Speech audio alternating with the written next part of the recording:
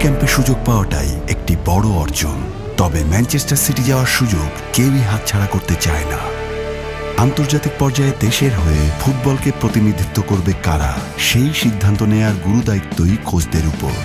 সবার শিখরের শেষ পর্যন্ত কোন ছয়জন তাদের নাম লেখাবে, সেই তালিকা নির্ধারণ করতে কোচরাও কিছুটা দ্বিধাগ্রস্ত।